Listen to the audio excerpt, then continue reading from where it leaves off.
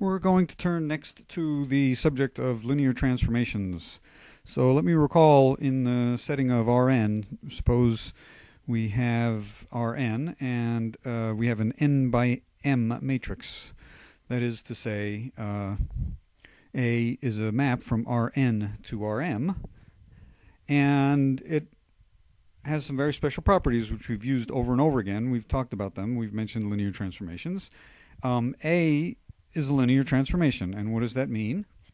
Well, uh, it means the following that if you take um, a vector v in Rn and another vector w in Rn, and then you apply, you multiply and left by a, applied to v plus w is av plus aw.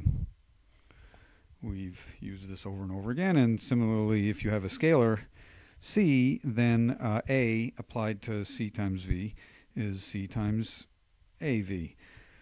So this is just a very basic, these are very basic properties of matrix multiplication. And they're really essential to all the calculations that we've been doing about Gaussian elimination and subspaces and so on and so forth.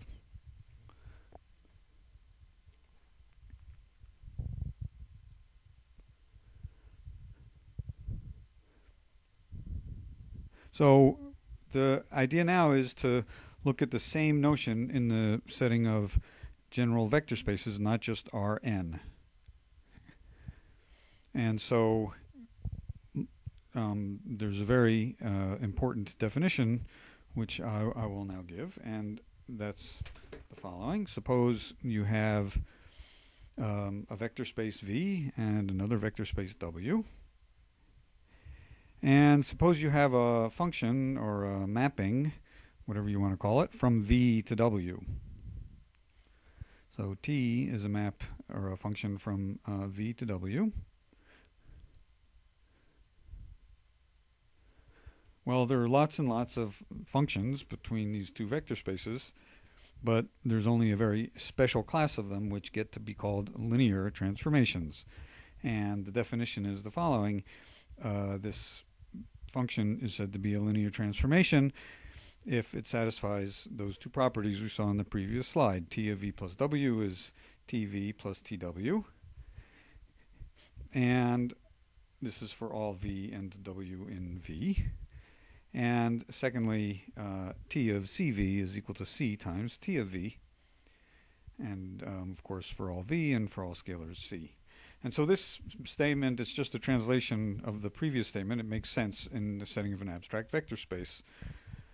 And it's just a copy of the corresponding um, facts about matrices. Okay, well, so let's look at an example or two. Um, let's take a uh, really simple example. Take V and W to both be R1, the one-dimensional vector space. So that is to say, uh, this T that I'm talking about, it's a map from R1 to R1. Well, that's really it's just R to R, and uh, so we're talking about a real valued function. And so it's typical, it's common to write that as f instead of t, so let me do that. So we're just talking about a function of a single real variable x, and uh, you take the function c times x, where c is any scalar. That is a linear uh, transformation. And if you plot the graph of this function uh, in the xy plane, it's a straight line through the origin, a line of slope c. Okay, so that's an example, and that's exactly the linear transformations from R to R. So anything else is not linear. So that means, that is to say, almost everything, there are lots and lots of functions, very few of them are linear. For example, x squared, whose graph is a parabola, or uh, sine of x, or even this function, um, f of x is equal to 2x plus 1 isn't linear because it's a straight line, but it doesn't go through the origin. So we've seen all this before. I'm refreshing your memory. Um, and we want to um, just talk a little bit more in depth about um, what general linear transformations are now. So let me continue with a couple of, uh, again, a couple of basic examples. Let's take um, V to be, V and W both to be R2. Then the linear transformation is of the form xy goes to ax plus by, cx plus dy, which is to say this matrix ABCD applied to xy. And every linear transformation from R2 to itself is given by a 2 by 2 matrix like this. And in fact, we've discussed this.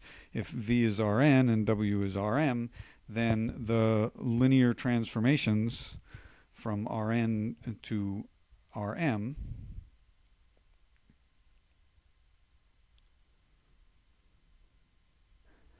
are exactly the n by uh, the m by n matrices.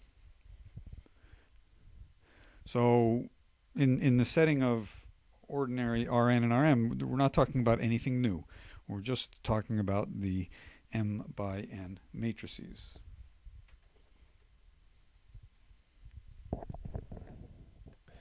Okay, well, here is in some sense the main point of today's lecture. Suppose you have two vector spaces v and w. And suppose uh, v is n-dimensional and w is m-dimensional. Then the linear transformations uh, from v to w, um, linear transformation t from v to w, the, they're exactly the same things as the m by n matrices. Just exactly what I said before. So what's different? There's a big but here, and the but is the following. Uh, this statement,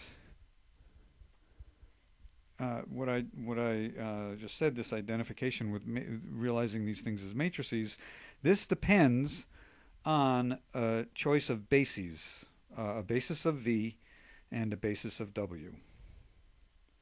And that's basically what's new here is there's uh, there's these extra the extra issue of these bases of V and W coming into the picture. And what we were talking about before for Rn and Rm is where you just use the standard basis for all the vector spaces in sight. So mm, I want to just the rest of the time I'm basically going to explain what this is about. So Let's give the main definition of the lecture. Suppose you have a vector space V and a basis of it with um, n vectors v1 through vn, and another vector space W and a basis of it, say w1 through wm. Okay. Now, suppose you had a linear transformation from v to w.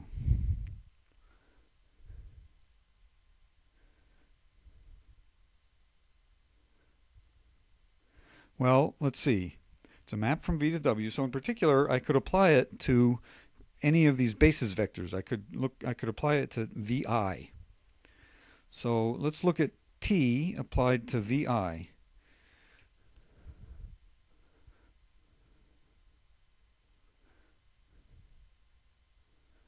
Um, so this is an element of the vector space W, so you can express it in the basis of W. So that is to say T of VI is some linear combination of the W's. It's some A1 times W1 uh, plus dot dot dot up to AM times WM. Now, well, I left a little space here so I can go and insert some i's to indicate that these numbers depend on VI. And uh, the shorthand for this is the summation running j from 1 to m of the aij wj. So that's the key formula. Let me uh, put it concisely here. Um, we have this linear transformation, and we can write t of vi is equal to summation aij wj, j running from 1 to m. And uh, this completely describes the linear transformation. And there are these AIJs, and I is running from 1 to n because I have the n basis vectors vi. So I notice I have these, these integers aij, and i is running from 1 to n, and j is running from 1 to m. Well, there you go. There's an, an m by n array of integers. There's your matrix. And that's exactly what uh, the definition says. Um, you have this, uh, you, are given the AIJs by this, and then you say that the matrix of this linear transformation with respect to these two bases, it depends on the VIs and the WJs.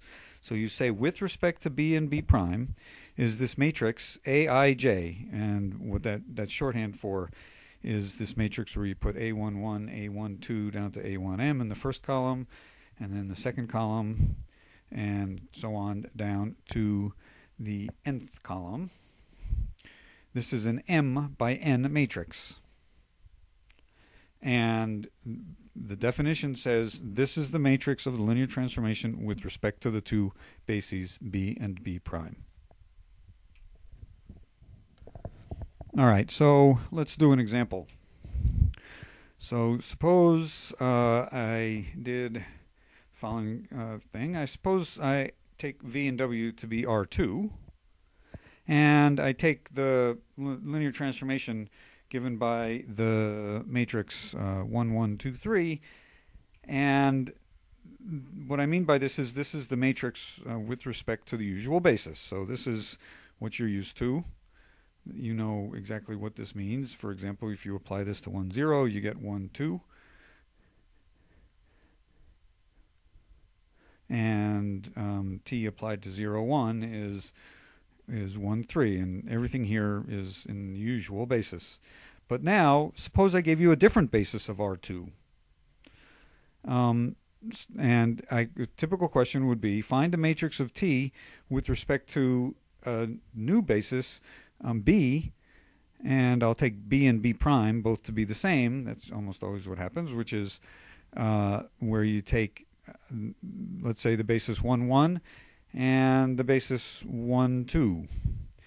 This is a perfectly good basis of R2. And if for whatever strange reason I like wanted to use it, I could ask you to write down the matrix of this linear transformation with respect to this basis. It's not going to be the same matrix. So let's see, what do you do? You write TV1. What is TV1? Well, the matrix, the original matrix is this, and when you apply it to 1, 1, you get, let's see, uh, you get 2, 5. And I need to write this as a linear combination of V1 and V2. That's what I'm asking. Uh, I need in this new basis, that is to say, it's a11 times this vector plus a12 times this other vector. And I need to solve this for a11 and a12. I'm trying to find these which make this equal to, to 5. Well, that's not so hard. Let's see. Uh, if you look at the first coordinate, you see that a11 plus a12 had better be equal to 2. And you also see that 5 had better be equal to a11 plus 2a12. And that's a 2 by 2 system. You solve it. Let's see, if you subtract the two equations, uh, you get that um, a12 is equal to 3. And from the first equation, you see that a11 is equal to minus 1. So the conclusion is that 2, 5 is equal to minus V1 plus 3 times V2. Okay? So that's the first, that's half of the calculation you need to do to answer this question. Uh, you also have to calculate T of V2. Well, by definition, T of V2 is this matrix calculation, multiplication, which gives you 3, 8. And you again, you need to write this as a linear combination of uh, the basis vectors 1, 1 and 1, 2. And I'll leave it to you to check that uh, what you get is minus 2 times 1, 1 plus 5 times 1, 2. Okay? So here, I uh, on, on this screen, I have the calculation that I need. I've written T of V1 as a linear combination of V1 and V2 and similarly V2. So the matrix with respect to this new basis is you you go back up on your page and you look for the uh, appropriate numbers. There's these uh, guys here and these over here, and you see that the matrix is uh, minus 1, 3, that's A1, 1 and A1, 2, and minus 2, 5. Okay, so it's not the same matrix as we started with. Um, and sometimes I'll write this as T square brackets BB prime, or even T square brackets B, to indicate it's with respect to B and B prime. And if B is equal to B prime, I'll just write B. So let me remind you, the matrix that we started with was the matrix 1, 1, 2, 3.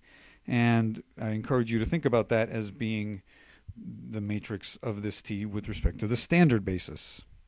So I have two different bases here and two different matrices. Okay. Well,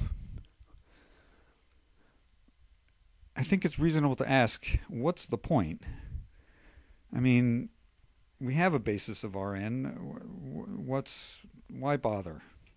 And that's a good question, and it brings up the, the, the key idea here, and it's the following. Um, suppose you had a, a map a T from Rn to Rm, and let me just say it for Rn. It, it holds equally well, but even in the case of Rn to Rn, uh, that's where I can say it, is, uh, and it's given by a matrix with respect to the standard basis. So that's what we were talking about before today. And now, um, the what happens is that sometimes uh, there might be a different basis of Rn which is better than the standard basis.